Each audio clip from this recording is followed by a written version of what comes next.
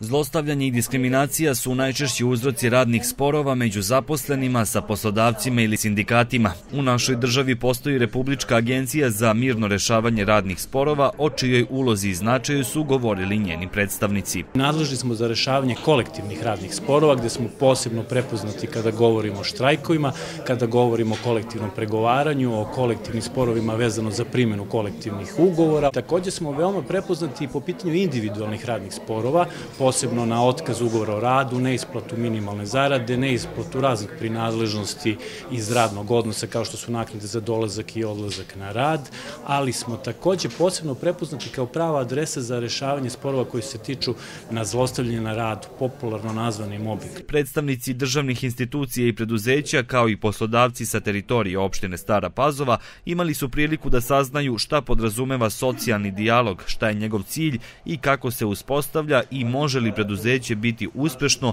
ukoliko nema mirnog rešavanja radnih sporova. Pažnja je bila posvećena i sindikatima koji su često u sporu sa poslodavcima ili njihova produžena ruka.